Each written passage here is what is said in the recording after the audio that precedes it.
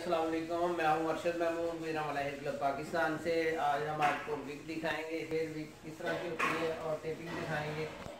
ये दोस्तों हमारे पास अल्ट्रा होलसेल में भी मिल जाएँगी होलसेल रेट पे। इसके बाद ये रेड भी हमारे पास होती हैं रेड टेप हैं।